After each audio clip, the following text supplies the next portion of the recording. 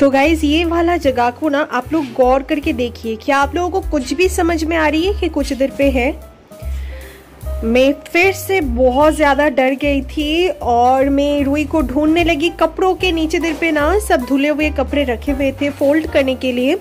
और इसके अंदर मैं ढूंढ रही थी लिटरली कि इसके अंदर रुई है या फिर नहीं। फाइनली मुझे कहाँ मिली मैं आप लोगों को दिखाती हूँ। चलिए, ये कर्टन आपको दिख रही है? एक सेकेंड आप लोग देखते रहिए रुई की बदमाशिया। रुई को छुपन छुपाई खेलने में बहुत इंटरेस्ट है। देखिए, रुई, वो देखिए। काम काम रुई, काम, वो देखिए। आए आए आए। वो देखिए ये इस जगह पे मैं ढूंढ ढूंढ के हैरान हो गई। फिर से मुझे लगा, कहाँ चली गई? वो देखिए, नीचे जंप किया, वो देखिए। ये ऐसा बदमाश एक बच्चा है ना, मैं क्या बताऊँ? पूरे घर में ये शैतानियाँ करते रहते हैं। देखिए। रोई। रोई बेटू। देखिए देखिए, फिर से गया। फिर से वो आई थिंक ऊपर में झलांग मारेंगे, क्या करेंगे? आई डोंट नो रोई। आप बार बार कहाँ गायब? वो देखिए, फिर से वो बालकनी में गई। और मुझे बहुत डर लगती है कि बालकनी में वो वाले जगह से ना वो छलांग ना मार दे। बट वैसे तो बहुत मतलब चालाक है। इसको देखिए। ये मुझे ना इतना डरा देती है, इतना डरा देती है। मैं बाहर से आके फ्रेश होके ऊपर के रूम में आई, आके देखिए मेरा रुई नहीं मिल रही है। फिर से वो अंदर में घुस गई कहाँ पर? वो देखिए। वो कर्टन हिल रही है थोड़ी थोड़ी आप लोगों को समझ, वो देखिए। तो इधर पे ना ढेर सारे कपड़े, धुले हुए कपड़े फोल्ड करने के लिए रखे हुए हैं। और मैं ऊपर के रूम पे आके करीबन एक डेढ़ घंटे के लिए मैं बाहर गई थी कुछ काम से।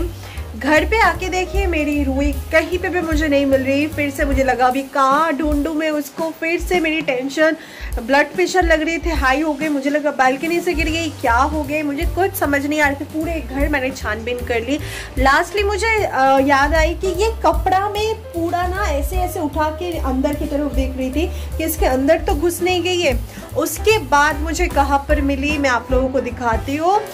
मतलब जैसे जैसे मेरी रूई बड़े हो रहे हैं ना वैसे वैसे उसका शैतानी भी बढ़ते जा रही है, बढ़ते जा रही है, कम होने का नाम नहीं है।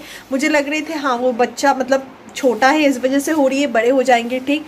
बट नहीं, मेरे कोई भी रैबिट ऐसा नहीं है कि कोने देखते ही वो छुपना स्टार्ट कर देती। इस कोने में, उस कोने में मतलब जिधर पे भी कोना मिले और वो छुप जाती है। और इसका कलर डार्क होने की वजह से ना, ढूंढना भी मुश्किल हो जाती है कि कहाँ गई। ये लेके चार, तीन, चार बार हो गई है कि वो बार बार इधर उधर गायब हो रही है। देखिए, मैं आपको दिखाने की कोशिश कर अरे लाइटिंग का प्रॉब्लम हो रही है। रोई। रोई। वो देखिए। रोई। कोई गली रे? और ये इतना कपड़ा देख के ना आप लोग डर मत जाना कि ये क्या हालत है। सब धुले हुए कपड़े फोल्ड करने के लिए रखे हुए हैं। टाइम ही नहीं मिल पा रही है। ऊपर से ये बदमाश बच्चों को लेकर ना मैं परेशान हो चुकी हूँ लिटरली मैं परेशान हो चुकी हूँ। तो चलिए गाइज़ मुझे यही दिखानी थी आप लोगों को कि बच्चे घर पे रहने से, खाना पीना देने से ऐसा नहीं होती है।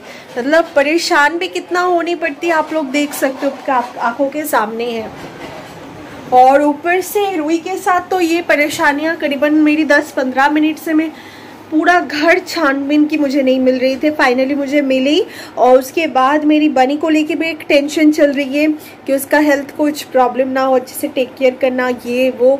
और और ऊपर से रुई मुझे इतना परेशान करती है डॉलर ऊपर पे सिम्बा वगैरह, उसका बच्चा चेरी मेरा दिमाग घूम जाती है लिटरली मैं क्या करूँ? समझ नहीं आती। इतने सारे बच्चों को हैंडल करना ना बिल्कुल भी मतलब आ, आसान काम नहीं होती है। जिस जिसके पास इतने सारे एक दो पेट्स होते ना तो बिल्कुल ठीक थे।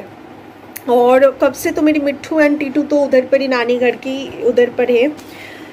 ओह फिर भी इतने सारे बच्चों को लेके ना उसके बाद खुद का पर्सनल लाइफ है एक बिज़नेस है ये वो सब कुछ संभालते संभालते ना मैं खुद को ही टाइम नहीं दे पाती हूँ सही से।